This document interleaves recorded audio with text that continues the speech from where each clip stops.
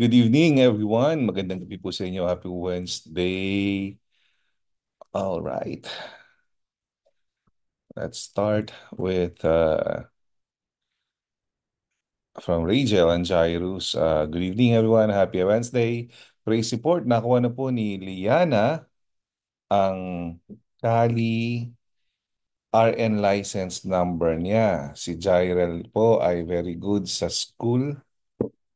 Uh, sa school niya, nakakatch up po ako sa work this week. And uh, prayer uh, request maging maayos po lahat sa Sunday to celebrate and honor our pastors. All right? Thank you. Uh, sabi naman ni Vince and Mike, good evening po. Ayan, magandang gabi daw po. Ayan, magandang gabi si Rachel, Jairo, Shane, Almira, Ava, Vince and Mike, Giselle, good evening. Tita Josie, good evening. And Justin Kyle, good evening. Ayan, pwede ka ba ngayon, Justin? Or you want uh, next week ka na lang? I, I, I can take over if you want. But if you're ready, you can also do so. Okay, good evening, good evening sa inyong lahat. Welcome to our uh, upper Zoom uh, prayer gathering every Wednesday night. And uh, yes, dali lang po. Ayusin lang natin ito. Ayan. Okay. Sandali lang po. Okay. Okay, next week. Yeah, you can you can do it uh, next week, Justine. I can um, cover you for uh, tonight. No problem. Okay, okay. Uh huh. So let's start with our praise report no? and uh, prayer request. No? If you're uh, uh, uh, in a listening mode, uh, please uh, feel free no? na mag ano, mag uh, sulat. So write down your um, uh, praise support and prayer request no doon sa ating group chat. So let's start with our praise report and prayer request. Ayan, syempre, ang never nagiging listening mode si Tita Josie, suki ng bayan. Tita Josie, good evening Hello, good evening po, Pastor, at sa inyong mm-hmm. lahat. Uh, yes. Praise report po, nakauwi po kami ng safe. at uh, salamat sa pagtataguyod ng ating Panginoon sa araw-araw sa ating lahat at pag-iingat. Salamat po sa kabutihan ng ating Panginoon. Uh, prayer request naman, ganun pa rin yung kaayusan ng paglipat nila Jorel dito sa LA. Mm, may date na ba, tita? Ah, uh, ano First po, week. Ano po nila, eh, mga November 5 daw po magbabiyahe na sila. Oh, okay, okay, okay. So, babaykin ba ni Jorel? Dadalhin pa sa akin. Asa magdadrive sila? Ah, kasi may kotse sila eh. Hmm, dadalhin nila. Pero si ano magfa-fly eh. Hindi po kasama niya eh. Ah, magdadrive din. Oo po, kaya ipag-pray natin habang sila po ay Kaya pa, ano, hinay-hinay lang. Take Opo, hindi naman po sila nag-a-apply. Kasi buntis yung kasama niya. Opo. Yes, okay. Uh, yan, naalala ko. Galing nga pala kayong Pilipinas. Tinatanong kanina sa kay galing eh. okay, so, ayan. Tito Josie, meron kang magiging award. Ikaw lagi ang non-listening. Opo. Ay, salamat po. good evening, good evening sa'yo, Lauren. Magandang magandang gabi. Good evening, Lauren. And Rachel, sabi niya, paad po, Anaya, may fever and cough. Yan, nilagay ko na si Anaya. From Giselle, praise support, I was able to submit uh, my application about for LUSD. Prayer request naman po na I would be able to apply for more jobs and if will po ni Lord na makapasok po ako sa LUSD, maging smooth po ang processing neto. Hehehe. Amen. Amen. Yes. Oo. Lah, um, si John, naalala ko, nag, nag-ano rin ako dun eh. Pangalan nun, nag-reference din ako eh. Oh, kaya natanggap. Ayan. So, matatanggap ka niyan, ano, uh, Jazel. Amen. So, Vince and Mai, sabi ni Vince and Mai, praise support. Thank you po for, thank God for the protection and guidance every day.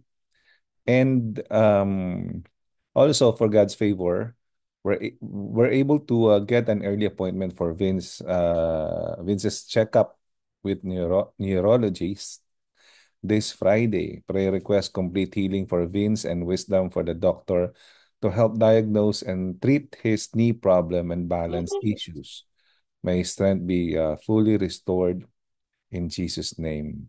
Amen. Oh, okay, okay, okay. So, so connected siya sa neurology yung kanyang knee and balance problem. So sige, isulat muna natin dito yung kay Vince. Okay, we're we're praying na maging negative yan, Brother Vince. So, sandali lang, susulat ko lang po dito. Okay, Vince. Um, A. Um, knee and balance. Uh, yeah. Gagaling ka na yan. Okay, sabi dito, um, please include, uh, include Michelle din po in prayer for wisdom sa mga exams niya this week until next week. Amen, Pastor. Thank you po. Okay, Michelle. Lang po. Sulat natin dito. Michelle. Exams. Um, Michelle.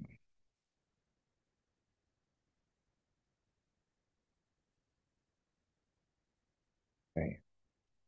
Ayan, ayan, ayan, ayan. Okay. Uh, good evening, good evening. Good evening, Lauren. Uh, Sister Rose, good evening. Um, who else? Good evening, Darren. Uh, uh, good evening, uh, Annalyn Mark. And um, Aldrin and Jasmine, magandang gabi sa inyo. Good evening. Good evening, Heart. Okay, sabi dito ni Rachel, um, Pastor, kung madam... Ah, okay, okay. Sige, no problem. Uh, from Shane, Almira, and Ava, pray support, good health, and God's daily guidance and protection. Prayer request, favorite outcome, ah, sorry, favorable outcome sa court hearing ni Shane on November 12. Sige, lagay natin yan. Uh, Shane, court hearing on November 12, favorable result. Alright. Amen. Yan. Sana matapos na. Yan ang problema ni Shane. Okay. Uh, good evening po sa lahat. Praise support, sabi ni Sister Rose. Uh, praise support ko po. Salamat po sa panibagong taon na binigay sa akin ni Lord. Yes, happy birthday Sister Rose. Salamat po sa family ko and lahat ng mga kapatid ko sa church. Ramdam na ramdam ko po ang pagmamahal nila. Mahaba po ang celebration. Eh, hindi pa tapos ang October, Sister Rose. Ganyan sa La Pilnas. Hindi birthday, birth month ang sineselebrate. Na prayer request po, gumaling po si Penny. Oh, may, may acute virus po. Ayan, sulat natin muna si Penny. Ayan, ayan. Sulat natin si Penny. Dali lang po. Acute virus. Okay, okay, okay. Yes. Okay.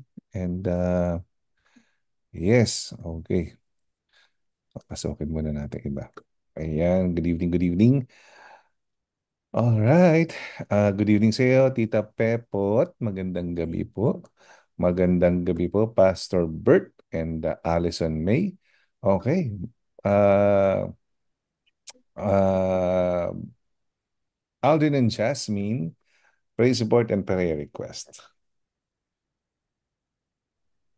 Good evening po. Good evening. Good evening po. Uh, praise report po is um, nagpapasalamat po kami kay God sa pag-iingat po sa amin. Uh, praise prayer request po, Pastor, is uh, si Anaya po may nag-start siya kagabi, sinat tsaka ubo. Mm-mm. Yun po. So, na, buti na lang po, ah, nagamit ko na yung aking kin care. Oh, yeah. Okay, praise God. Opo. So, nasana po, um, bago po itong maglinggo gumaling, umokay na po siya. Eh, Siya, oh, ayan. si Ayan. Praise. At saka po pala, Pastor, ah, continue prayer po para kay Praise, Yes. Tabitha Singcolyagas. Um, nalipat na po siya sa Heart Center. So, kailangan po nila ng ano, down payment na 200,000. Kasi 500 po Oh, yung ano. About that thousand. So, papray po na makalikom po ng ganong kalaki para po maumpisahan na po siyang maoperahan. Kasi ano na raw po, urgent daw po eh. mhm, mhm. Yun po. Mm. Na maging okay po yung surgery niya rin po pag nakalikom na po ng pera. Alam niyo, Thank you po. sa, sa ah, experience ko na galing ako sa sakit, eh, Apo. eh, pag nakakita ko nagkakasakit ngayon, parang masyado ko siyang, ano, no, parang feel na feel ko kasi na nanggaling ako sa sakit eh. And ah, medyo Ah, mabigat lang kasi bata. Tapos pag nakita mo yes yung po. picture, parang kinukurot yung puso mo eh. Dahil Mhm. bata, naaalala mo tuloy yung anak mo, alam mo yung mga Mhm. ganun. Lalo na paka-complicated ng sakit niya. Kano ano niya ba siya? Ah, apo po ni Aldrin. Kasi ano, yung Oh, pinsan, apo ng pinsan po niya eh. okay, okay, okay. Yeah. O, kasi Siguro, wala pa pong ano yun, Pastor, eh, wala pang isang taon. Kaya wala pa. Kasi ang plano talaga ng doktor, ah, one year old daw po, saka siya ooperahan. Kaso masyado na pong Nagka-pneumonia. nagka-pneumonia, ang dami na pong nangyari. eh. Kaya kailangan na po. yeah, siguro kung ano man, eh, bukod sa panalangin, kung merong mang tinatouch sa inyo ng Panginoon, eh, mag-ambagan siguro tayo kahit papaano makaibsan din sa problema nila, di ba? Na ma- mabigyan natin kahit paano ng tulong, no? Sige So, po. Salamat po, Pastor. uh, kung sino man yung mga ano lang naman, ah, hindi naman pertahan o whatsoever. Kung sino lang yung nais na ah, tumulong. no? Kina, kung kinakatok kayo ng Panginoon yung puso ninyo. So, yeah, Thank i- you po. bigay na lang natin siguro kay Jasmine, no? Wala kasi si Sister Girlie nasa Philippines. So, Ano po, Pastor, meron silang, ano, meron silang parang Gcash yata doon. I-send ko na lang po yung link. ang problema, from the US, pumapasok Ayun yung lang po. O Yeah. sige po, Pastor, Siguro i-ano i-gather lang na po. lang, Si, i-gather na lang natin, tapos, si then, Aldrin na lang po mag-send po. oo, oo, or zoom.com or or through bank na lang, 'di ba? Apo sa bangko po. Yeah, yeah, yeah. Kahit kahit magkano na may spare kayo, alam mo 'yon, eh walang kaano-ano yung bata kasi no, kumbaga. Tsaka hindi naman naiiba kamag-anak naman ni Aldrin, 'di ba? Kung sino man, kung sino man lang naman. Ah, alam niyo mas sa simbahan natin eh hindi natin pinipilit ang mga tao. Kung sino lang yung hipuin ba, parang gano'n. All right, Opo. ano? So, Ah, tulad At saka pala, Pastor, ano, si Sophia po pala, may ubo pa rin po pala. so, Pa prayer request daw po. Ah, Si sige, Sophia po. ilagay natin dito ha, si Sophia. Anak ni Mau po. Oo, sandali lang ha. Isulat ko lang dito. Sophia. Sandali lang po. Ayan. Ayan. Sophia. Ayan, ayan. Salamat po. Okay, maraming salamat. Okay.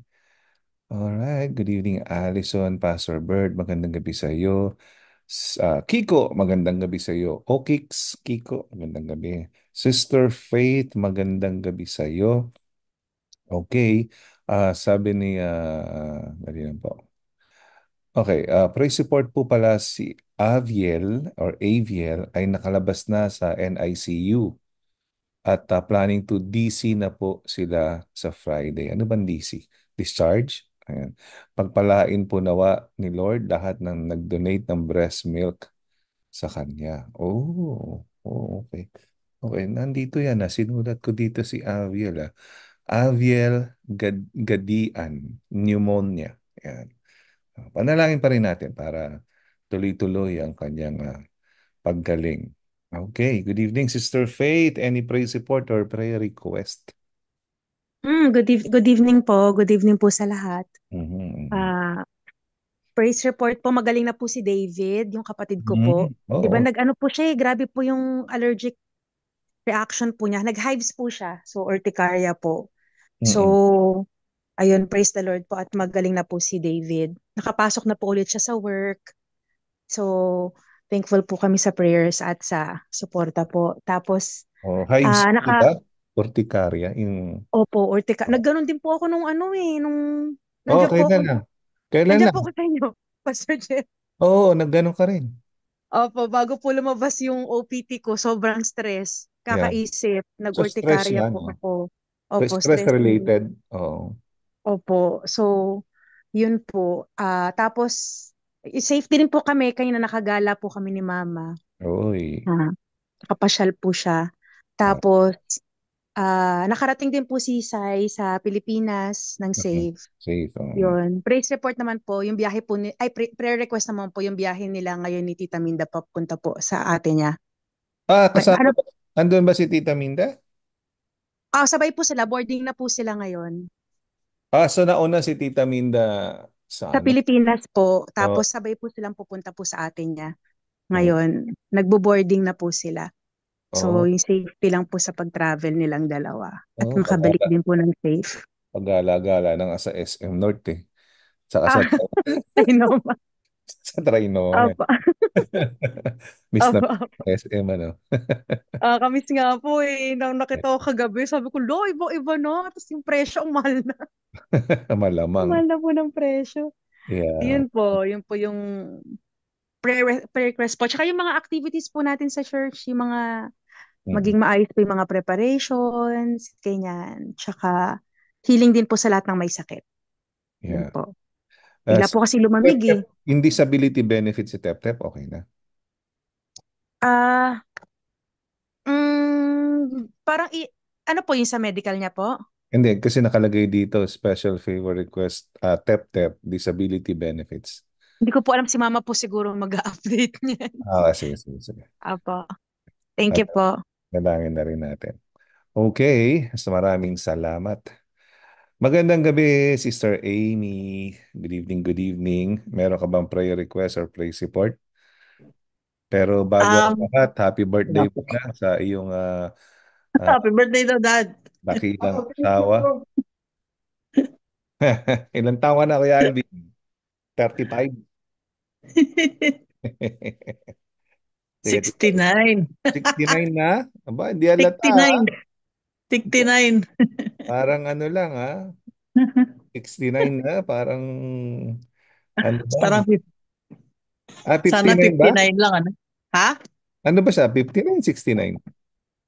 It's, opo, 55. 1955 siya eh. Oh, so ano siya? 69. 69 po. Oh, hindi nga halata, parang 68 lang.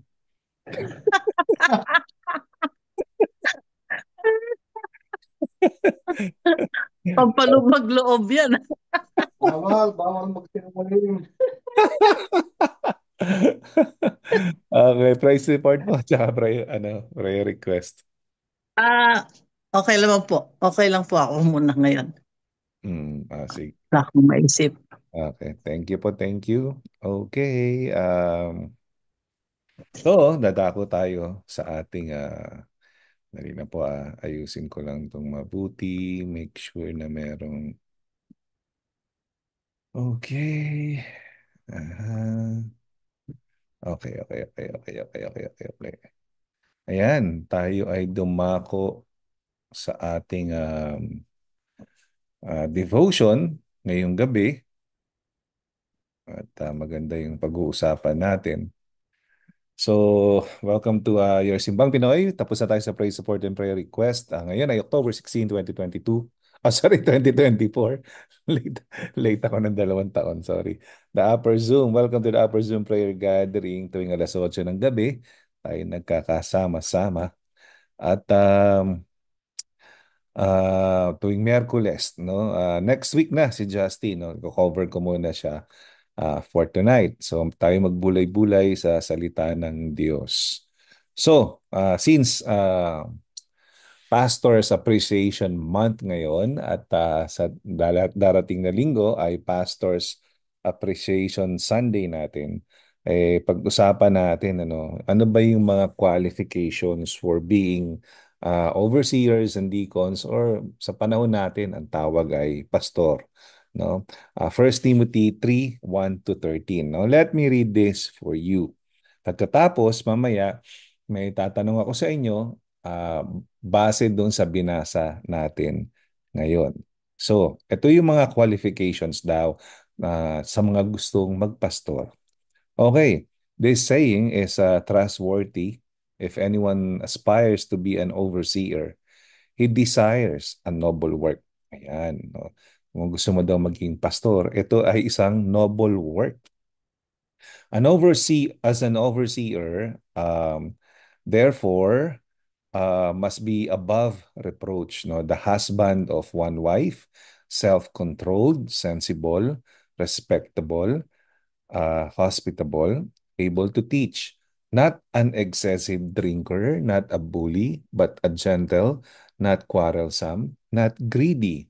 He must manage uh, his own household competently and have his children under control with all dignity. If anyone does not know how to manage his own household, how will he take care of God's church? He must not be a new convert, or he might become conceited and incur the same condemnation as the devil. Furthermore, he must have a good reputation among outsiders, so that he does not fall into disgrace and the devil's trap.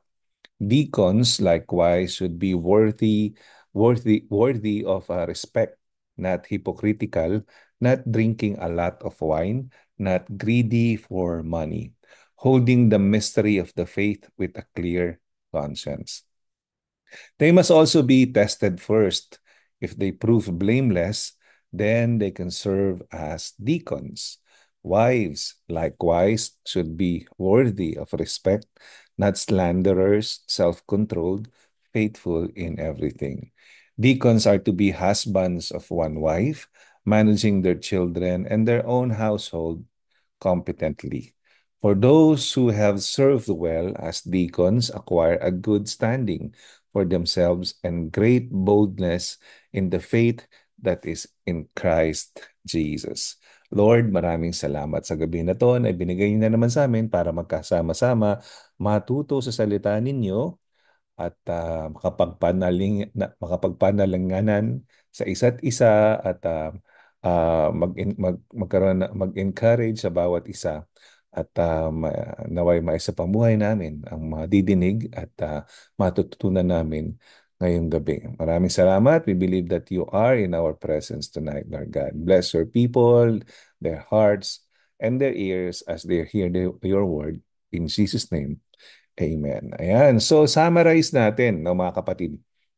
Ano daw yung mga uh, sabi according kay kay kay Paul, binigyan niya ng guidelines no si uh, Timoteo, Timoteo yung batang pastor na dinidisciple niya na ito yung mga guidelines pag magre-recruit tayo ng mga pastors. Ito yung first church ng araw. So, uh, dito sinulat natin ano. So, pipili kayo dito sa mga guidelines na to or qualifications ng parang uh, what do you call this? Uh, significant, important na glaring sa'yo No, lahat naman 'yan significant, lahat 'yan important, lahat 'yan essential. No, pero yung parang ito glaring sa iyo na dapat kumbaga eh uh, ito talaga dapat makita sa pastor. Or somehow not necessarily uh, kahit na siya yung pinaka-least na kailangan ng pastor pero parang uh, wow requirement pala yon parang gano'n no So any of this, no, sa mga listahan na to, pipili ka ng isa or dalawa or kahit ilan ang gusto mo, basta uh, bakit, no? Bakit? Kumbaga, bakit glaring sa'yo? Bakit sa palagi mo significant or important or essential siya na requirements sa pagiging pastor? No? Andiyan yung husband of one wife, self-controlled, sensible, respectable, hospitable, able to teach, not an excessive drinker, not a bully, but gentle, not quarrelsome, not greedy, must manage his own household competently and have his children under control with all dignity. Must not be a, view, a new convert or he might become conceited. Must have a good reputation among outsiders, worthy of respect, not hypocritical, not drinking a lot of wine, and not greedy for money. So, uh, ito yung question for discussion natin ano, for tonight. Among the qualifications of being a pastor, what is the most significant for you? Or glaring, not necessarily sa yung top, kumbaga pwedeng mid na, na significant or least significant. No? At bakit? No? Bakit yun na napili mo among sa mga list na to? Alright? And uh, question number two, name any pastor from your past, no? Kung nag-church ka na sa iba noon, uh, at saka hanggang ngayon, that manifests such qualifications. Halimbawa, nag-church ka noon sa Novaliches or sa uh, Paranaque at meron kang uh, unang pastor na nakitaan mo ng ganitong qualification, yun, ikwento mo naman sa amin, no? At sino siya, parang ganun, para naman maparangalan natin siya. Or in present time, ba, nakita mo yan sa pamumuhay ni Pastor Bert, no? So whatsoever. So name any pastor from past to present. Eh syempre, kung ikaw naman ay uh, dating uh, katoliko at uh, dito ka naging Christian sa Amerika na born again, or na born again ka sa LA Philnas, eh syempre no choice ka, kami lang kami na lang ang pagpipilian mo. so ayan, so ayan, bago tayo magsimula, um uh, please no kung meron pa kayong prayer support and prayer request or meron kayong gustong idagdag, uh, uh, meron kayong gustong uh, i-discuss pero hindi kayo makapagsalita because probably you're driving or uh, you are studying or uh, doing something or, or you are at work, no, please uh, feel free na uh, isulat ito sa inyong chat box no at uh, babasahin namin para sa inyo. All right? So Ayan, bago ako tumawag, eh, magpapasalamat muna pala ako. May, may yung praise report ko, like ko nalilimutan sabihin. Magpapasalamat ako, no, kasi parang uh, naisip ko two, two weeks ago, parang hindi ako makatayo, namimilipit ako sakit. Pero ngayon, parang wala nangyari. So talagang sobrang nagpapasalamat ako sa Diyos. Saka siyempre sa inyong lahat, sa mga panalangin nyo, no, tsaka dun sa mga pagmamahal nyo, yung concerns na naramdaman ko talaga. At uh, talagang uh, mabilis akong naka-recover. No? Parang walang nangyari. So nagpapasalamat din ako sa inyo yung mahabang prayer request natin na magawa yung uh, kotse dahil binangga nga, no? Uh, na-victimize kami ng binangga tapos binabaliktad pa kami. Eh, yun, ayos na siya at uh, ginagamit na ni Cled dahil nasira naman yung kotse niya. So, nagpapasalamat kami din sa prayer ninyo. Ang isa na lang, ito na lang yung bahay namin na sana uh, balikan na nung, uh, nung gumagawa ano kasi ang tagal-tagal nilang ano eh, uh, hindi pa nila binabalikan. No? So, uh, ang hirap ng bahay namin lumiit. Maliit na nga, lumiit pa lalo. so, yan, maraming salamat sa patuloy na panalangin. Okay, so who wants to start? Yan, ayan, yan, yan. Sinong gustong magsimula? Siyempre, doon tayo sa suking tindahan natin. Ang tindahan ni Aling Josie na never nagli-listening mode. Ayan, may award ka talaga, Sister Josie. Maniwala ka sa Workers Appreciation Day. okay, Tita Josie, ikaw na munang mauna. Ayan, ayan, ayan. So, ako una. ah, sige, kayo na mauna. Uh, eto. Uh, ako po, una sa lahat yung nire-respeto po.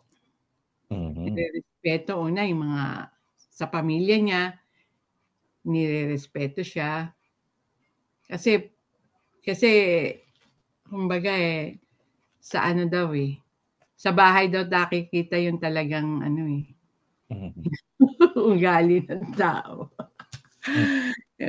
Pwede tayo magkunwari sa labas eh, pero kung sa sa bahay, doon nakikita. Una-una, nire-respeto siya ng buong pamilya, mm-hmm. tapos ng mga nasa labas, kahit hindi mga Christian, mm-hmm. Nare-respeto, nire-respeto siya. Yun po sa akin, parang yun ang aking ano. Mm-hmm. Tsaka, gaya ng mga pastor natin talagang karespe-respeto po. Walang talaga. tulak, itulak, itulak. Al- Oh, respeto po talaga yung mga pastor natin. Mm. Kayo Number po. 11 and number 13, no? Must manage his own household competently, Mhm, his mhm. children under control with all dignity. Number 13 must have a good reputation among outsiders, even Ah. outsiders. Mhm. Yun po. Ito sa mga ano Tita Josie, yung mga name any pastor from the past no or present na nakitaan nyo ng mga ganito. Halos lahat po ng pastor kong natapatan, ganun po eh. Mm-mm. Kahit po yung mga lakanilaw po, yung mga humawak po sa amin. Oo, Mga- mga solid na yan eh. Po Na- talagang mga ano po, na sa ministry yung apelido na yan. mga lakanilaw. Opo, talagang hanggang ngayon po. Tsaka broadcasting, no? Ah, silang mag-asawa. Bata pa lang ako, napapanood ko na si Mike Lacanila. Sa Channel 7 ba yun? O Channel Yung mga tsuhing po niya yun. 9? Mm. Mike and Paul. Mm. Ayun po. At ah, napunta po kami dito sa ating ah, sa Lapilnas. Ganun din po. Mas magaling. Parang ano ah. Parang, para, para malilibre ni Pastor Bart si Kuya Noel ah. Hindi, yung, yung sinabi pastor ni Mabi na ano, na kayo isa lang ang pastor nyo, kami lima pastor namin. Ang inggit pa eh, no? Opo. Parang in-edit yun, wala yun. Doon. Wala. Hmm. Oo. Okay. Maraming salamat po. Opo. Salamat din Thank po. you. Okay. Ayan. So, isulat nyo lang kung meron kayong ah, sagot dyan sa mga ano natin. So, magbasa muna tayo dito. Baka meron. Ayan. Pwede na po akong mag-speak page. Okay. Sige. Rachel, go ahead. Rachel. Um, ako po, yung about sa family po, yung um, isa lang po yung asawa and then yung nagki-care po siya sa sa mga anak niya. Kasi po, ah paano po siya bubuon ng family sa church if yung family niya po is, you know, parang troublesome, ganun po. So, akin, akin po yun po. And then yung ano po, um, not greedy for money po. Kasi I think yun po yung common reason bakit po minsan nagkakaroon ng problema sa church. Mhm. Yung greediness for money po ng mga pastors, ng leaders, ng mga board, ganun po. So, yun po. Yun po yung sa akin. Mm, Pag-upline si Pastor, ano? Mm. Pag, pag si Pastor ang upline mo doon sa multi-level marketing. Ayan. Magpapabili ng ano, mga Tesla, ganun. So, I mean, na- nakakatuwa lang kasi dahil na madalas ko nakikita sa Facebook, madami nagtatanggol talaga, no? Al- Alam naman natin yan eh. Di umano, or allegedly, ay ah, maraming kaso tong si Pastor Apollo Kibuloy. Ah, hindi naman natin siya inaccuse kasi hindi pa naman siya proven guilty. Pero, ah, kumbaga, pag tinignan mo itong listahan na to, 'di ba? Is he a person of husband of one wife, 'di ba? Parang na, isang accusation sa kanya ay meron siyang tinatawag na pastoral, no? Hindi pastoral, hindi pastoral, parang ganun. Na harem kumbaga noong unang panahon ano na maraming ah, girls na pwede niyang makaniig sa bawat gabi, mga ganun. Pero he's I think he's technically single eh, parang ganun. So, yun din no, in terms of ah, money na ah napa- nakita niyo naman yung yaman ng kanyang ah, garden doon sa ano ano Garden of ah, E- ano ano yun? Eden Garden, Garden of Eden doon sa sa Davao no? and so on and so forth no? And somehow this can ang, ang ganda kasi ng salita ng Diyos. Kahit na anong pagtatanggol ng mga politiko whatsoever no? Pwede kang mag ano eh mag ah, mag-imbestiga using the guidelines given to you by the word of God na teka nga 'di ba ma-check nga yung pastor namin is he qualified to be a pastor? No? Given itong guidelines ni Paul, parang ganun. So, yun. No? So, yun lang na naisip ko lang. Anyway, maraming salamat, ah, Rachel. So, ano yung tanong uli natin? Ah, among the qualifications of being a pastor, what is the most significant for your glaring no para sa iyo at bakit no? Then name any pastor from the past or present that manifests such qualifications. Ayan Rachel meron ka bang uh, dating pastor or uh, na parang nakita mo itong mga uh, mga qualifications na to? Specifically ba worship pastor mo noon or youth pastor mo noon or senior pastor mo noon or whoever na kumbaga uh, talaga namang uh, minamanifest niya no itong qualifications na sinasabi ni Paul. Ako po ano, same same po kala mama kasi po yung yung mga yung si Pastora Cindy po tsaka si Pastor Ephraim po. Mm-hmm. Since pinanganak po kami, sila na yung pastors namin sa sa church po. And then isa lang din po naman yung church namin. Though nagsisimba po kami minsan sa Methodist ganon. Pero iba-iba po kasi yung pastors doon.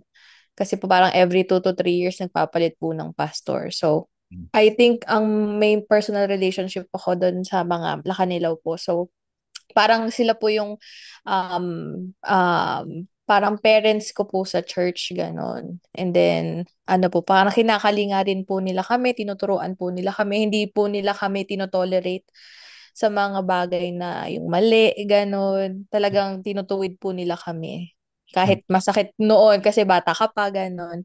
Pero nare-realize mo para talaga silang mga magulang mo na personal na talagang tinuturuan ka tinatama ka. So yun po yung sa akin. And then masaya masaya din po kami kasi nakahanap rin po kami ng home church dito sa Amerika. Kasi po 'di ba pag bago kang dating dito sa Amerika yun talaga yung hahanapin mo. Mm. yung home church mo. Kasi yun yung magiging second family mo dito. So um, we're glad po dahil ano na, nakilala po namin at napunta po kami sa sa LA Philnas po and then sabay-sabay po tayong nag-grow. Parang hindi po hindi lang po yung grow yung growth is yung nasa pastors and leaders lang. Parang lahat po ay nag-grow together. So yun po. Mm-hmm. Alright, maraming salamat sa iyo, uh, Rachel. Okay, balik tayo sa ating uh, chat box. Okay, sabi dito ni Giselle, for me po, very important po yung he must also have a good reputation with outsiders. Okay, so ibig sabihin hindi mga taga-church or hindi nasa bahay niya, kundi yung ano no yung social life niya no? Paano siya tinitingala or ginagalang ng mga tao. Now, we are so blessed. We have pastors that reflect Christ uh, teaching consistently regardless of the setting po Love ko po lahat ng pastors pero nag-stand out po sa akin si PJ. Wow, dahil kahit madami pong bashers, hindi po mapatol. so siya po talaga ang favorite ko. Sino si PJ? talaga tong si Jazelle. All right, maraming salamat Jazelle. Okay, um, good evening Pastor Cled. Magandang gabi sa iyo. Okay, tapos na si Tita Josie, tapos na si Rachel. Puntahan natin ang mga Anastasios. Ayan. Good evening, Anastasios. Good evening po sa ating lahat. Mhm. Um, for me po, ang pinaka nag-stand out po na characteristic po na kailangan po sa pagiging pastor ay yung number five, being hospitable. Mhm. Um, not just being hospitable, but ano po, yung pastor po dapat would really take good care of their flock and know them, invest time para kilalanin sila. Kasi po yung mga past pastors ko po ay lalo na po doon sa previous most recent past church. Mm-mm. Our church was our church was so big na in, hindi po talaga ako kilala nung senior pastor although I, I've been serving sa worship team, hindi niya po talaga ako kilala at a personal level. By by face lang talaga niya ako kilala. Even my name, I I bet hindi niya po kilala by name. Mm-mm. So, um, being hospitable po is, ano po, um, kailangan po in a personal level na you're really trying to get to know your flock. You know their likes, their dislikes, kahit paano po, or what what's their gift, what uh, ministry they're in, um, how what uh, how they serve at church. Mga ganun po man lang kahit hindi po ano in, yung personal life at but at least uh, uh, sa mga ginagawa sa church alam po ng pastor. So sa akin po yun po yung pinaka importante kasi yung previous pastor po he, he has all the characteristics po lahat po yan. Maybe yung pagiging hospitable po not in a personal level sa akin because hindi po ako nasa leadership maybe doon siya sa leadership Mm. uh, hospitable pero ayun po, yung para sa akin I I, I think um mas maganda po yung church ko po ngayon. So I'm I'm very proud to say na lahat po ng ating pastor, kayo po Pastor Jeff, Pastor Rave, Pastor Cled, Pastor Bong, and Pastor Bert are very hospitable. Uh, you're willing to uh, get to know and um, ano po, mag-invest po talaga ng time, ng effort to get to know your your flock. So yun po, very grateful po kami. Amen. Thank you, thank you. And uh, naalala ko lang, minabasa ko dating write-up, no? Na ang sabi nung nagsulat, uh, inimbita ka na ba ng pastor mo sa bahay nila? Alam mo yun? Kumbaga, uh, kasi ito yung parang inano niya, niya dito dun sa sinasabi ni Paul na being hospitable is also opening your own home to your flock. No? Hindi yung leaders lang ang pwedeng pumunta. Alam, hindi yung namimili ka lang. Kumbaga, everybody's welcome. Alam mo yun? So, kumbaga, kahit na uh, dito sa bahay namin, kalate-late, eh, nagkakasya 80 dito na tao. Hindi ko alam kung paano nangyayari yun eh, no?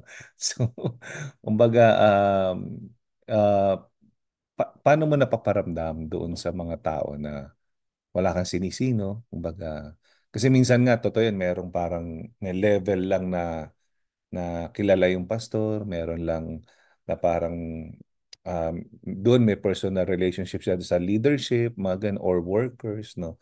Pero uh, pastor ka na lahat, hindi ka pastor lang ng workers or ng leaders. Naalala ko rin kwento ni Sister Minnie na pagdating niya dito, kasi 11 months silang, 11 months siya na nauna sa amin, na sumunod kami ni Job, ni, ni Cled. Tapos nag-church siya, pagdating na pagdating si church siya sa isang Pentecostal church, no? It's an Assembly of God na church. And uh, uh, it's a local church, no? Halo. May puti, may itim, merong uh, Emmy. So, uh, yung senior pastor, uh, so nagstay siya doon for 11 months nang simula dumating siya hanggang sa dumating kami. Uh, for 11 months, no, she's been faithfully giving her tithes, no, doon sa church na yon. Uh, kasi na malapit doon sa bahay niya, tsaka school doon sa Arlita. And um, uh, faithfully attending every Sunday, no. And yet, no, for 11 months, hindi man lang siya kinausap ng pastor. For 11 months, no. I mean, uh, uh, I mean, hindi hindi hindi man lang siya hindi lapitan talaga na kahit nag-hi hello man lang no? for 11 months alam mo yun? So uh, yun lang yung nakakalungkot. Kaya pagdating ko uh, dinala niya ako dun sa simbahan na yun. So parang isa o dalawang beses na kami nag-church. And then lumipat na kami sa sa ibang simbahan no so sa Shepherd na kami lumipat no so yeah uh, thank you thank you Aldrin so Okay, next. Um, Sister Faith. Okay, Sister Faith.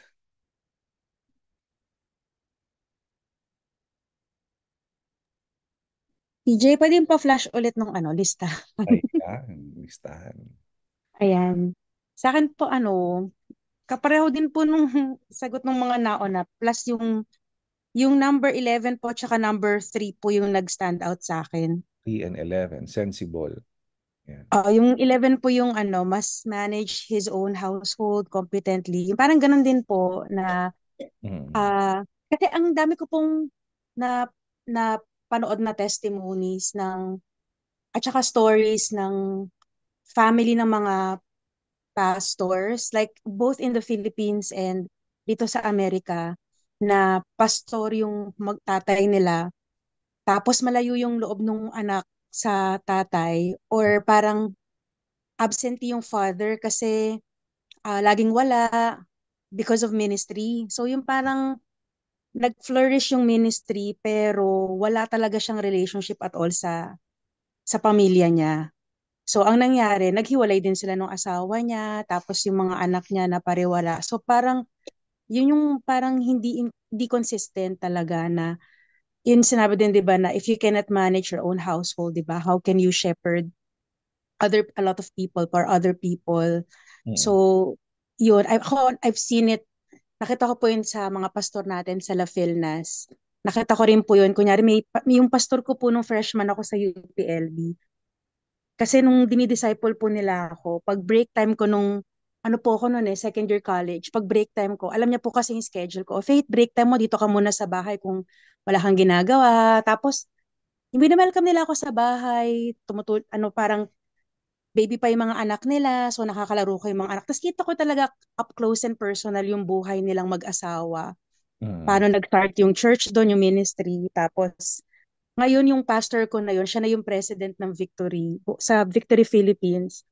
Tapos Wow. ganun pa rin siya kasi pumunta po siya ng LA eh. Nag, nag, nag-meet up kami dito. Tapos kinikwento niya paano yung flow ng family life niya. Tapos yung mas malaking responsibility niya ngayon compared nung isang local church lang yung hinahandle niya ngayon na buong Pilipinas, ganyan. Tapos parang nakita ko na ang galing walang nagbago. Walang Mm. nagbago in terms yung relationship niya sa family niya. Mm. So, tapos yun, kita ko rin po siya sa mga pastor natin dito sa La Filna. So, I, I think na sobrang nag-stand out po sa akin yun. Kasi, I guess pag nakita rin po na ibang tao outside the church, it would also establish yung magandang reputation niya sa outsiders. Parang ang laking factor nun eh. Sobrang impact, impactful. Tapos yung number three po, na sensible, I think importante po kasi ito, nakita ko rin po to sa sa mga pastor po natin sa La Filnas. I think for me, yung sensible na tao, yung marunong tumansya, yung may tamang pag, may magandang judgment, reason, marunong gumawa ng mga practical decisions, hindi very emotional, Mm. ganyan. Tapos fair, just, may wisdom, may exercise, marunong mag-exercise ng wisdom, ganyan. So, kita ko po yan sa mga pinagdaanan natin, kunyari sa church. For example, sa church, ah yung mga opposition outside and uh, yung mga difficulties and challenges. Tapos Mm. nakita ko like how our pastors uh, were able to handle it in a very calm and calm and ano mo yung maayos na way. I think it, it's good because it also sets an example. Para it it creates a culture for everyone na para oh this is this happens and when this happens ito yung gagawin mo. So para ang ganda rin po niyang example. So I think yun po yung nag-stand out sa akin. Kaya yun po yung sa number 11 po tsaka yung number 3. Yun po, Pastor Jeff. Salamat. Thank you, Sister Faith. Okay. Uh, Sister Amy, good evening. Good evening, good evening po. Ako na pala. Teka, ano po ba yun? Number, Um, flash nga po. Sa akin po, mag-stand out po, po yung ano, number five.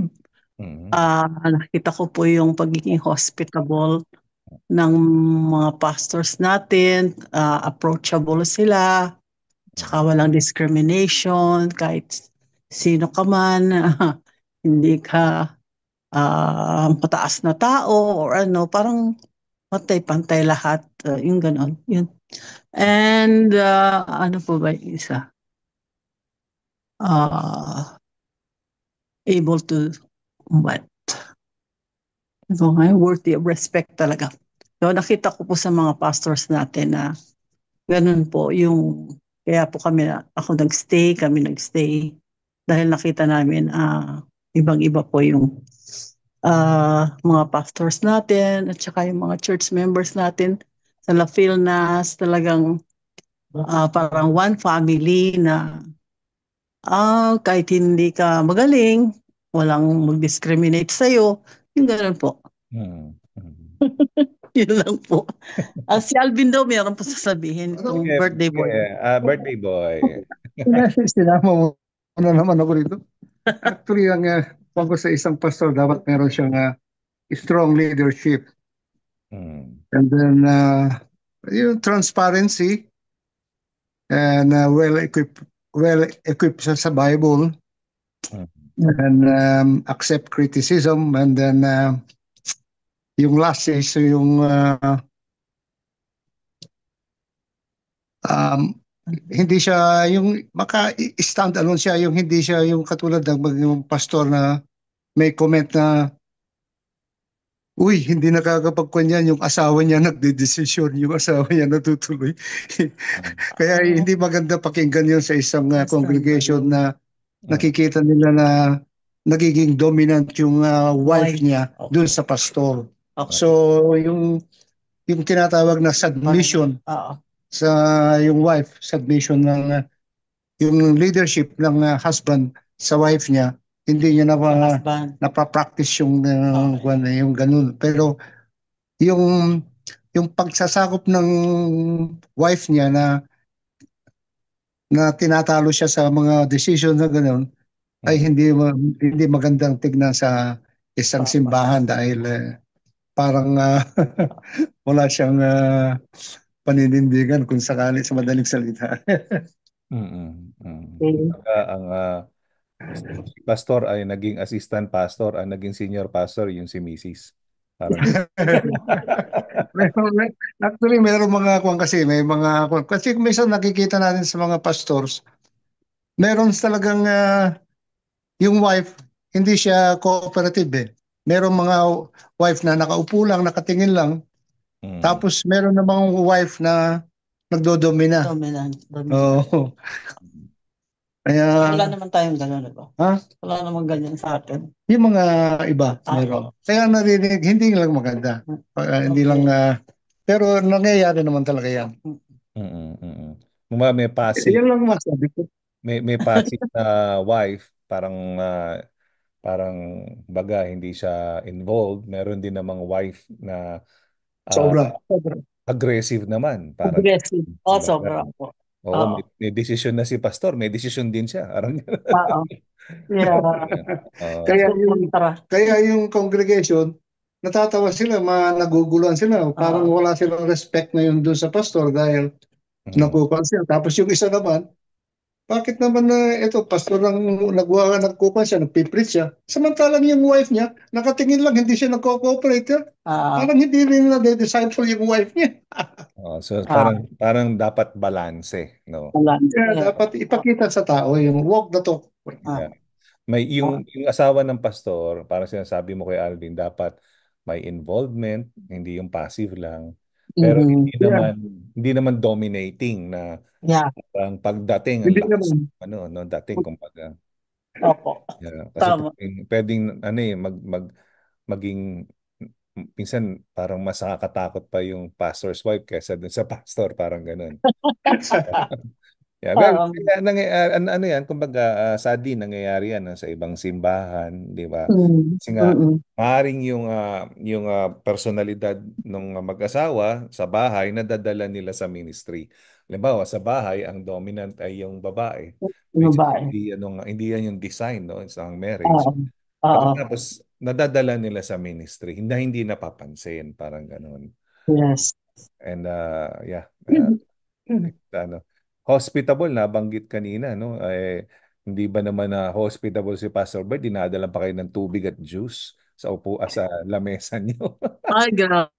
Sobra. Tsaka, isahatid ka pa sa sa airport. Atin ko pa sa airport naman no susunod Saan ka pa? saan ka pa di ba Pagka napaka-blessed natin sa Yeah. mga kapatid natin pastor sa La Filnas Amen. Thank you, thank you po. Maraming salamat. Aba, magbasa muna tayo dito. Ah, ha, sandali lang po ha. So, ah, Sister Rose, mag-share po ako. Okay, Sister Rose, go ahead. Hello, magandang gabi po sa lahat. Nakalabas na po ako sa work kaya pwede na po akong magsalita. Anyway, sa akin po, tatlo po ang nag-stand out po sa akin. mhm, Number, first po is number two, which is self-controlled. Mhm, Napakalawak po ng, ah, kumbaga, kung sa self-control po, napaka ah, lawak po ng ah, sinasaklo po nito, hindi lang po sa, sa, especially po sa pag-uugali po ng pastor natin. mhm, Um, you know, um, kasi po ang self-control po, kung wala kang self-control, lalabas po ang tunay na kulay ng ating mga pag-uugali. mhm, At um, nandun na rin po yung pagkakaroon ng respeto sa sa ating kapwa-tao po.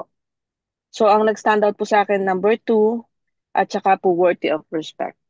Kasi po, ah yun naman pong worthy of respect sa number 14, ah pinili ko po kasi po, ah kung wala pong self-control din po ang ating mga pastor, paano po natin sila re-respetuhin? mhm, At um, uh, at saka po yung number 17, not greedy for money. Which is ito po ang lagi kong pinagmamalaki po kasi po uh, naka-question po minsan ang as like kami po galing po ako sa Catholic uh, Church. Hmm. Hindi po ako consistent sa pagbibigay noon kung kailan lang po ma magustuhan kahit po noon po sa dating Christian Church na inaatinan po na, na namin po noon. Hindi hmm. po kami kumbaga ang tagal po namin doon pero kung kailan lang po namin feel na magbigay. Mm. Malaki po ang naging impact impact po sa akin nito na nakita po yung changes ng pag-iisip po namin na paghipo din po sa amin ng Panginoon.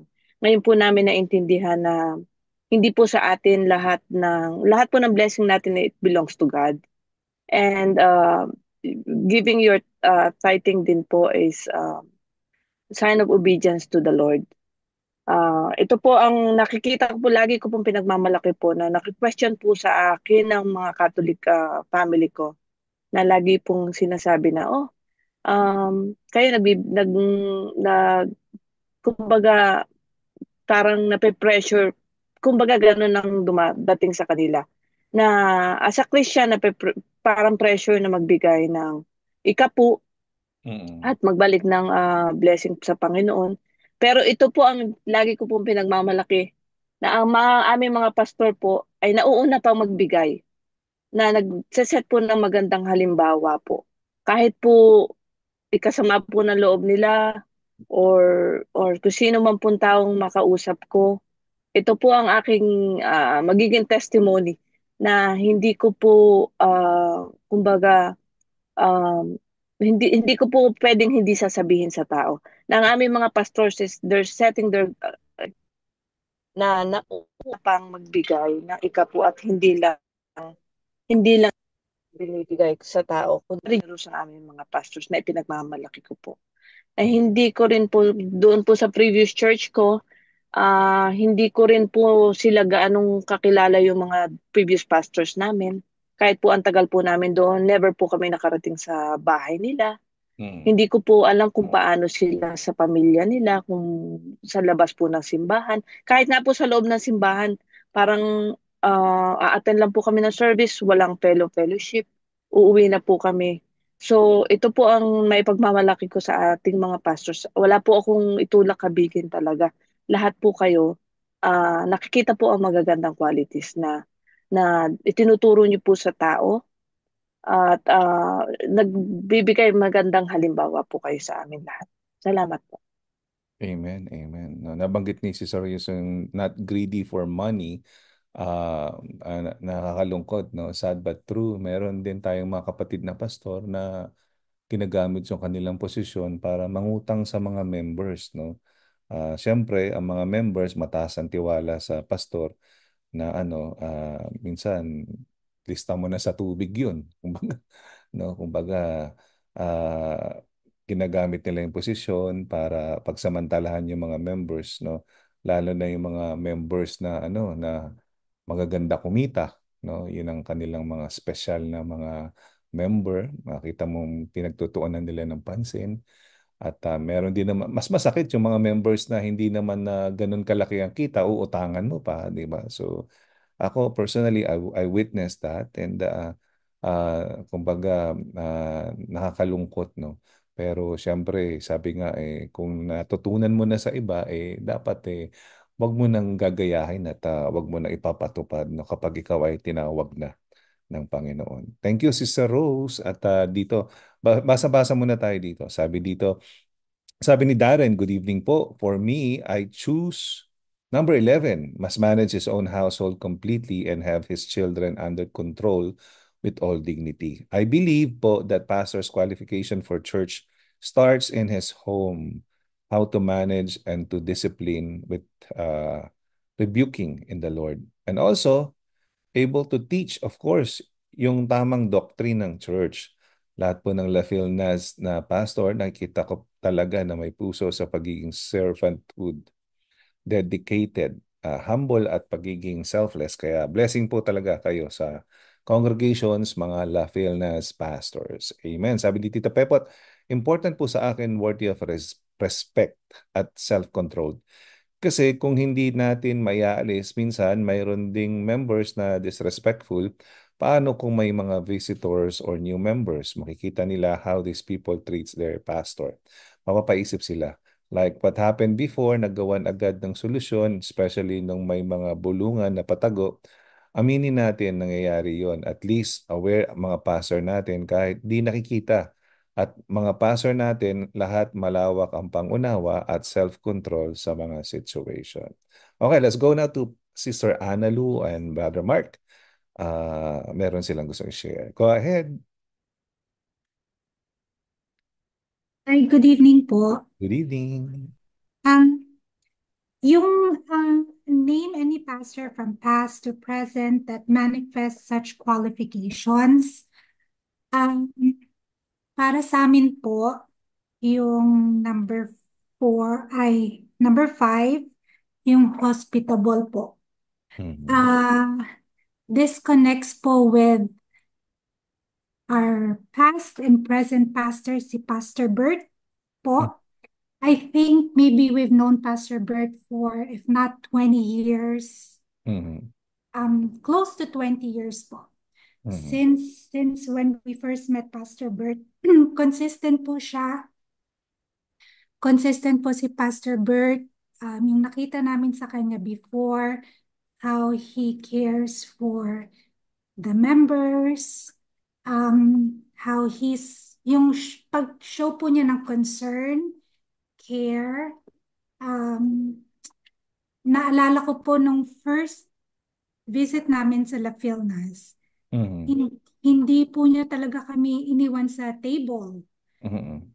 From the time we sat down to the time we left. And every um, ilang Sundays po siyang ganun until we felt comfortable.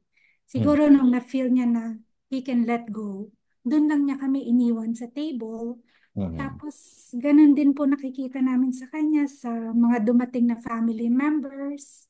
Tita Elvie and her, Sila their kids. Tita Elvie, sila um, James, sila Wedge. Ganun na rin po sila from the time we met, when we met them.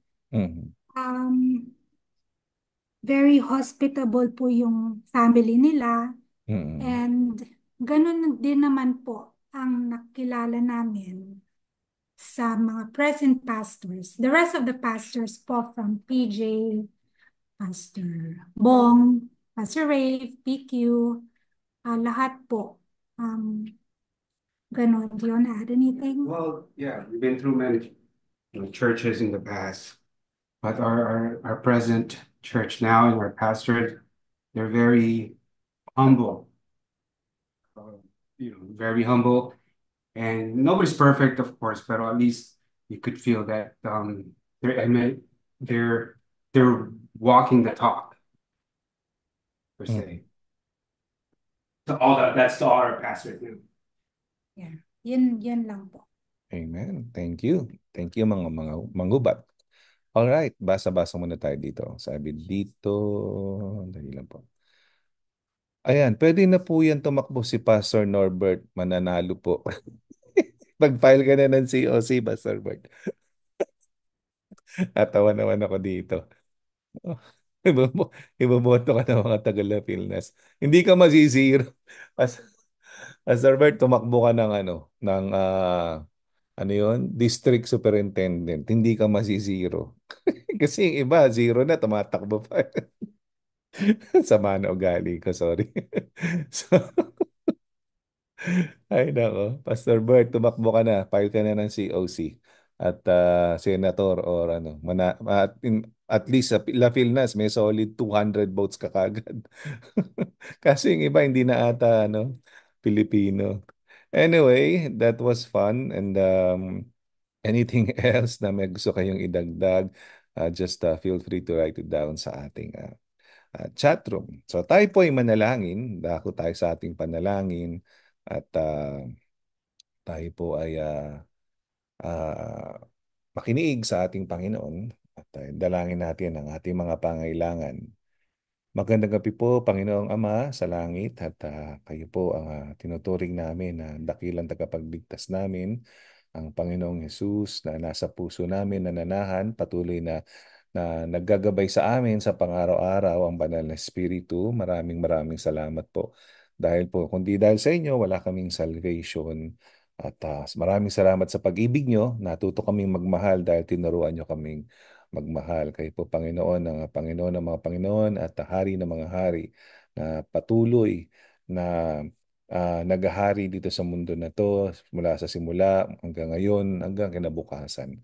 At sa at sa future, Lord God, kayo ang aming uh, makakasama ang magpasawalang hanggan. Uh, humingi nga po kami ng kapatawaran sa mga pagkakasalang nasabi na isip na gawa namin, Panginoon, sa pang-araw-araw namin pamumuhay. Nawa, Panginoon, ay patuloy niyo kaming i, itaboy, Panginoon, doon sa flock ninyo pabalik. At uh, niyo kaming hayaan to be snatched away from your hands. Uh, pagkalinisin niyo po, Panginoon, ang aming mga puso sa aming pagdulog sa inyo at sa aming paghiling ng mga sumusunod no na mga supplications. Bago yan, Panginoon, nagpapasalamat kami sa lahat ng mga prayer request namin noon na ngayon ay uh, praise report na. Uh, maraming salamat sa mga tulong ninyo, uh, Panginoon. At uh, sa gabi na to, nais naming unahin, Panginoon, na ipanalangin ang aming mga La Filnas members na na hindi po namin madalas na makita sa sa uh, simbahan.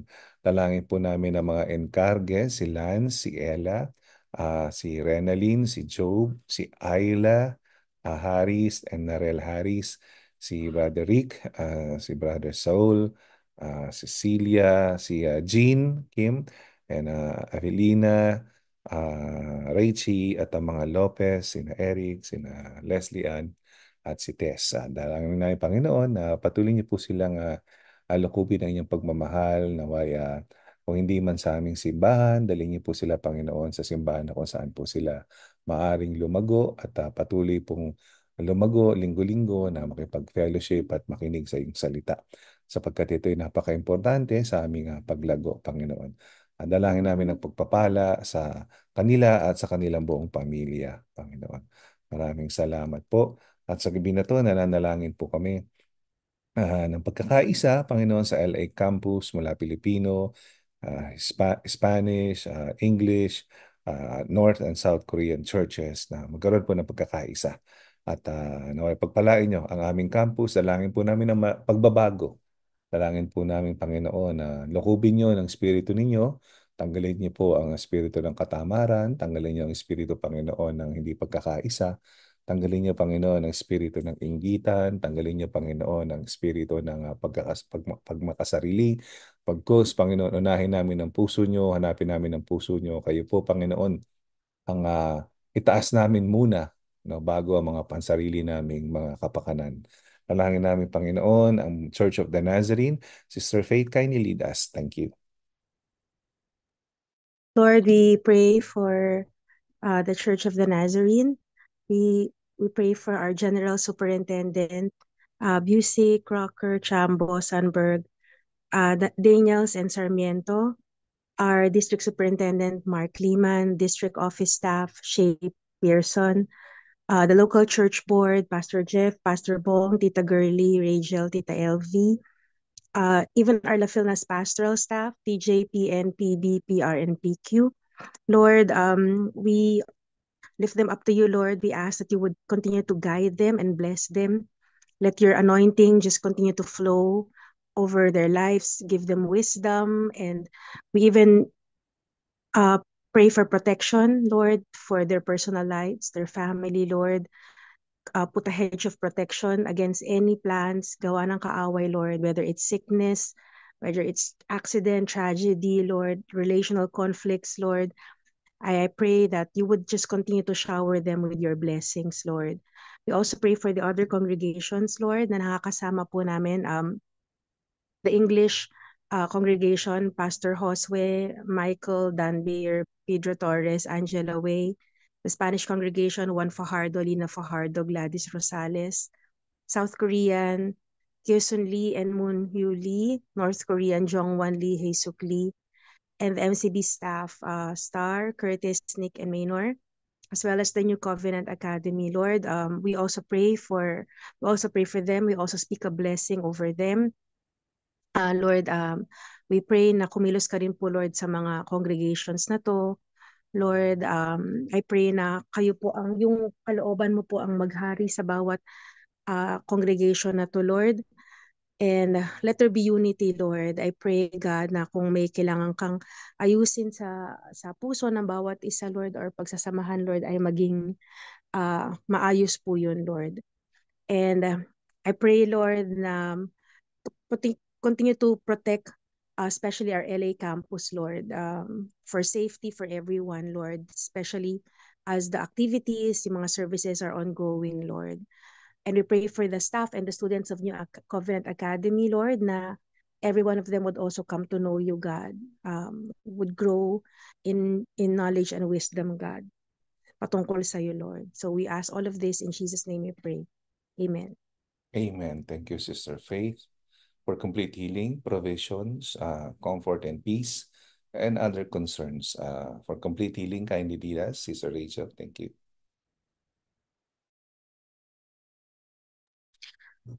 Um, Lord, uh, we're praying for uh, Penny with acute virus, uh, Vince A, uh, sa knee pain po, and sa balance problem. Um, si Sofia and Anaya sa flu and cough. Um, si Aviel sa kanya pong uh, pneumonia recovery, Lord. We're praying for uh, Tito Pepot sa kanya pong wound, sa kanya pong right leg. Um, baby Praise, Kin Colaga sa kanya pong heart problem, Lord. Um, si Ella po sa kanyang ALS, Lord. Si Mommy Zenny po sa amoebiasis niya and sa kidney stones. Si Ate Jasmine po sa kanyang back pain. Gloria Santa Maria sa kanya pong thyroid surgery. Daddy Tony sa kanya pong bone disease, Lord. And we're praying for Dito Arthur sa kanya pong back pain. Dolores Julio, um, Alzheimer and infection po. Pastor John Wan Lee, kidney stone and stroke. Tita Berna sa kanya pong knee problem. Kay Patrick Noel po sa kanya pong um, um, we're praying na um, he will be able to walk and join the church, Lord. And si Ivan De Rosario sa kanya pong mental health. And sa dementia po ni uh, Pastor Greg Garman and the Bob, Lord. Lord, we're all praying for these people sa kanila pong mga nararamdaman, Lord, at sa kanila po mga conditions, Lord, sa di- diagnosis po nila, Lord. Alam po namin, Lord, na um, bago pa po namin bukang aming mga bibig, Lord, ay alam po namin na pinagaling niyo na po ang mga taong ito, Lord. At alam po namin na hihipuin niyo lahat ng um, humahawak po sa kanila, like yung mga doctors po, mga nurses, medtech, Lord, ay um, bibigyan niyo po sila ng wisdom and knowledge para po matulungan sila upang makarecover po sila ng um, as soon as possible sa kanilang pong mga sakit, Lord.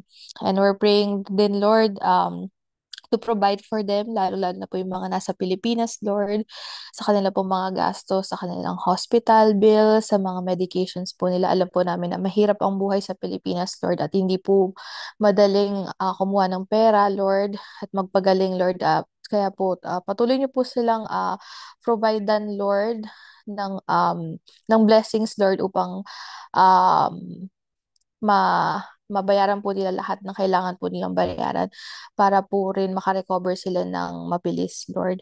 And um, ipuin niyo po yung kanilang katawan simula ulo hanggang paa, Lord. At uh, um, tanggalin niyo po lahat ng uh, sakit, Lord, um, lahat ng pain na nararamdaman nila at maging clear po silang lahat sa kanila pong mga sakit. In Jesus' mighty name we pray. Amen. Amen. Thank you, Sister Rachel.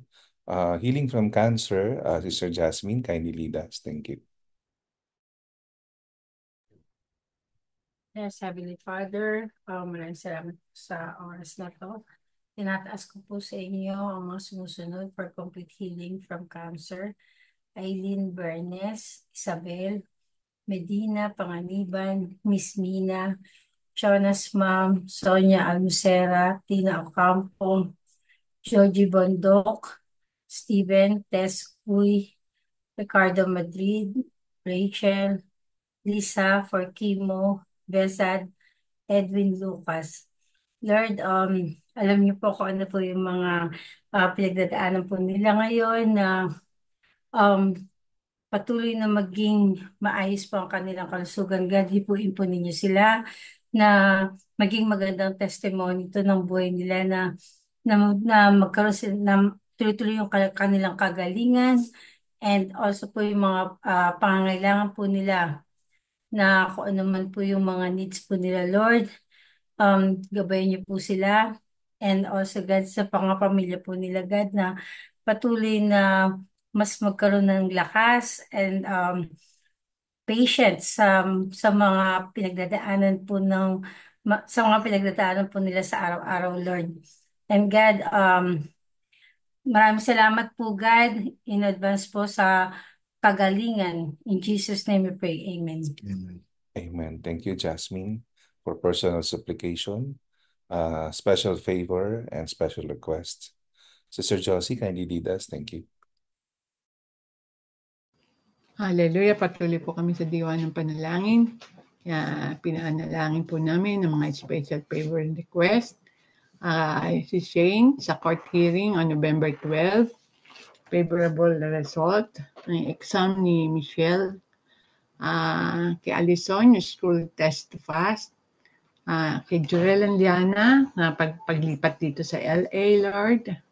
Uh, the Kanay family, safety to harm will prosper uh, yung uh, pregnancy and safe delivery ni Liana Medan, Medan and Rachel Can Canlapan.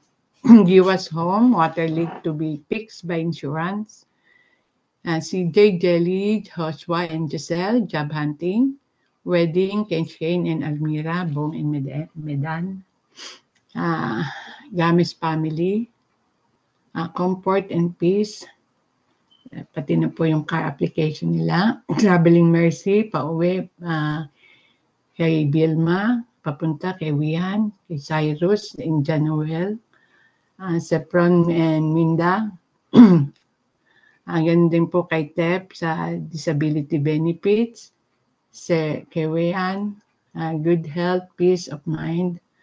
Lord, nilalapit po namin ang aming mga kapatid na humihingi po ng mga request na ito at favor, Lord. Alam mo po, Panginoon, ang kanilang uh, uh, dinadalangin sa iyo. Lord, alam po namin, Panginoon, na ikaw lang po, Panginoon, na, ang nakakaalam, Lord. At ikaw rin po ang mga sumasagot ng mga kanilang pangangailangan, Lord. Alam po namin, Panginoon, na hindi mo po sila bibiguin, Panginoon. Lord, alam po namin, Panginoon, na pangungunahan mo po sila lahat po ng mga request nila, Panginoon. Alam po namin, Panginoon, hindi mo sila iiwan, hindi mo sila pababayaan, Panginoon. Dahil ikaw ay tapat sa iyong mga pangako, Panginoon. Maraming maraming salamat po at alam po namin na tutugunin mong lahat ito, Panginoon. Dahil alam mo po, mahal na mahal mo yung mga anak mo, lalo na yung mga uh, mga Christian na mga anak mo, Panginoon, na sumusunod sa iyo at nagdilingkod sa iyo, Panginoon. Lord, uh, ngayon pa lamang po, pinasasalamatan na po namin ang gagawin mo, Panginoon, at ginagawa mo pa po sa aming mga, pa, mga kapatid na ito, Panginoon.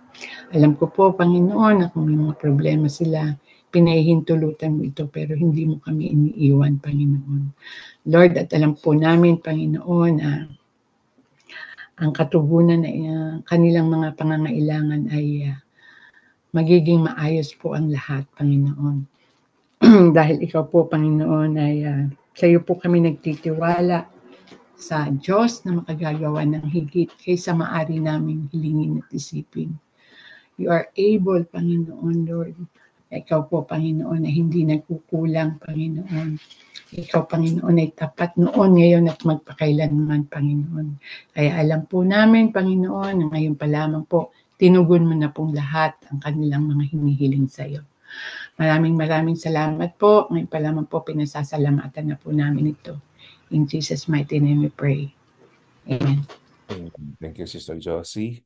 For events, uh, kindly lead us, uh, Brother Aldrin. Thank you. Dear Lord, thank you, Lord God, for tonight. Thank you for this time and opportunity to just pray, Lord God, and commune with you, Lord.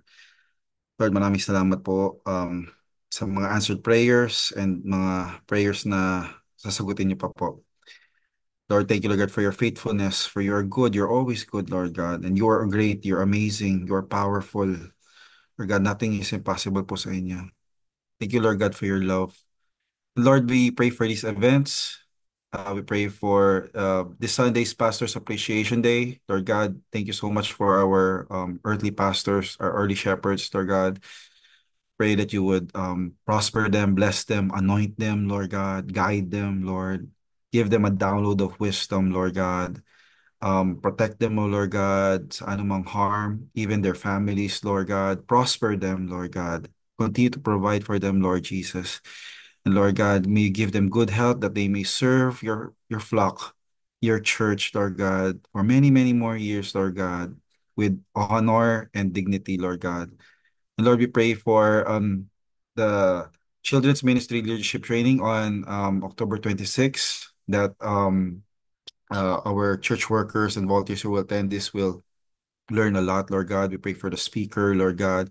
We pray for this event to be successful, Lord God, and more people will be inspired, Lord God, and motivated, Lord God, to um to guide your children, the the the kids, Lord God, um the future generation of um our church, Lord, and not just the church, but the future generation of the, our world, Lord God, of, for uh, each church community, Lord.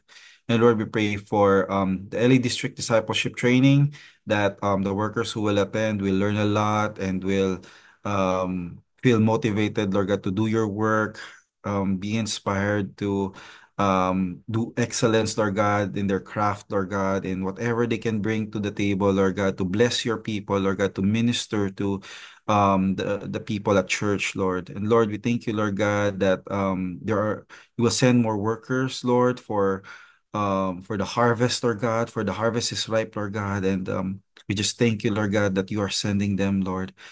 And Lord, we pray for local mission trip to Covenas on uh, November 9. May this be a successful event as well, Lord God. We pray for the, the volunteers, Lord God, to have that uh, heart of service, Lord, um, to minister to other people, Lord God, and to just have that passion, Lord God, to serve and have a loving heart, Lord God, for other people, Lord.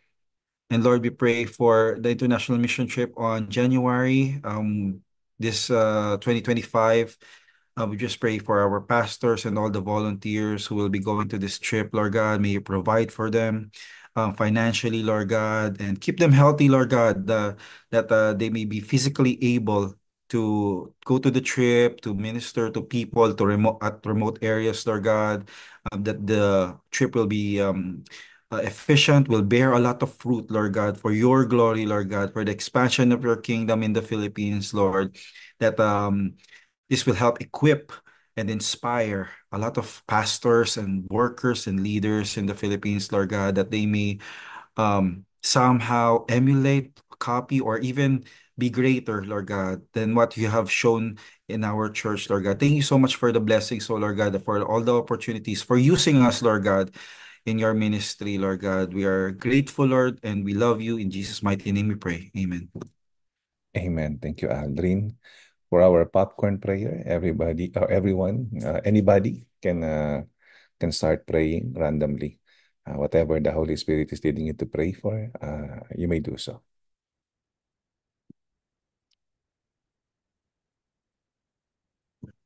I praise and thank God for this day, October 16, uh, birthday ng asawa ko si Alvin, tsaka ng anak ko si Via. Lord, I pray uh, na continue to give them good health, Lord God. And uh, thank you, Lord God, for taking care of them, O Lord God. But I pray especially for my daughter, Via Pang Panginoon, na sana magsimba siya parate, Lord God na maging good example siya sa mga anak niya na maging Christian din yung mga anak niya pag, paglaki nila Lord God. Uh, thank you Lord God. And I pray for special uh, blessing for Rachel Kalnapan, my niece, so Lord God. Bukas po yung kanyang cesarean schedule, Lord God. Sana Lord, walang maging complication, maging healthy sila pareho ng baby, O Lord God. Thank you, Panginoon, sa buhay ni Rachel, Lord God. Patuloy siyang maging uh, malakas, Panginoon, sa kanyang uh, post-pregnancy uh, recovery, O Lord God. Thank you, Lord God. In Jesus' name, amen. Lord, we're praying for uh, Sister Minnie, yung request niya po, Lord, about her classes, Lord. Patuloy niyo po siyang pangunahan, Lord, at hipuin, Lord, yung mga bata, Lord, na tinuturuan niya every day, Lord. At um, cover her school with your Holy Spirit and your precious blood, Lord. Hindi lang po si Sis Minnie, Lord, lahat po ng mga teachers, Lord, even yung mga school nurses like Jairus, Lord. Patuloy niyo po silang ingatan, Lord, at i-bless niyo po yung kanilang school every day. In Jesus' mighty name we pray. Amen.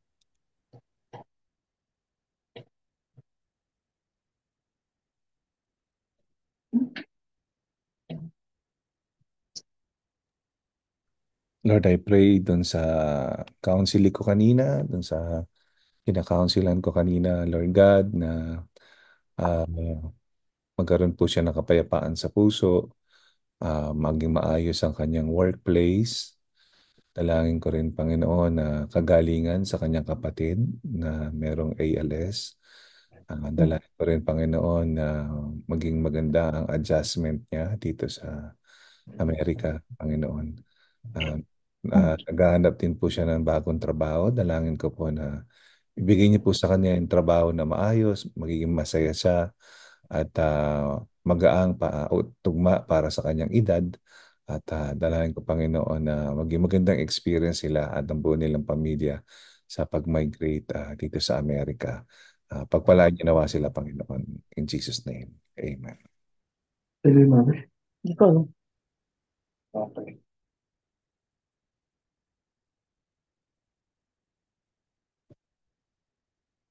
Praise God.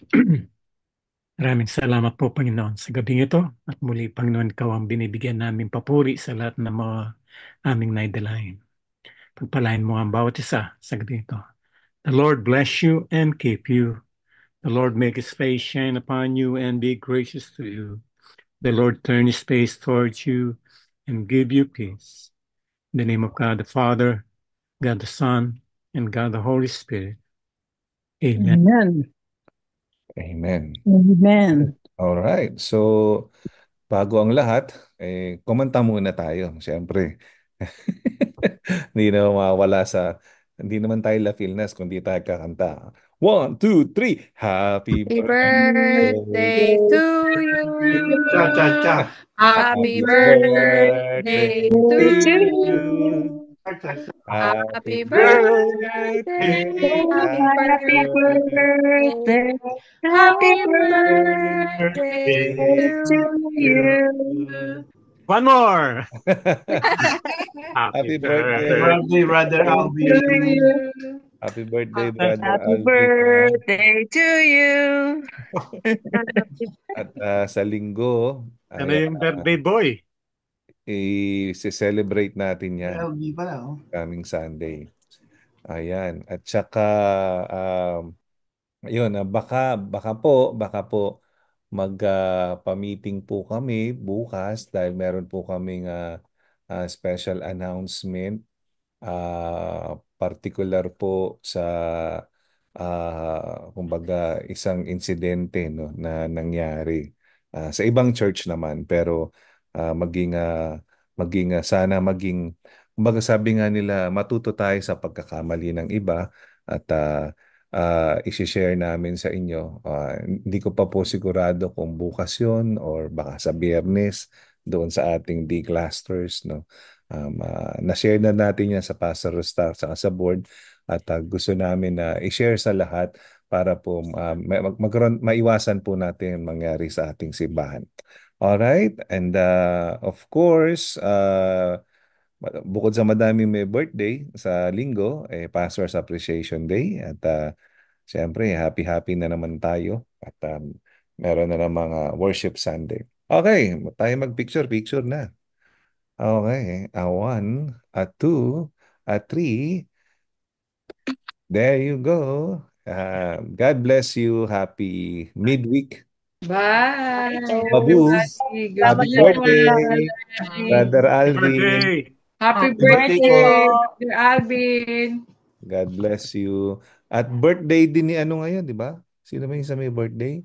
Si Dangaw. eh. Nicole. Si Nicole. Yeah, yeah. God bless. Bye-bye. Good night. Good night.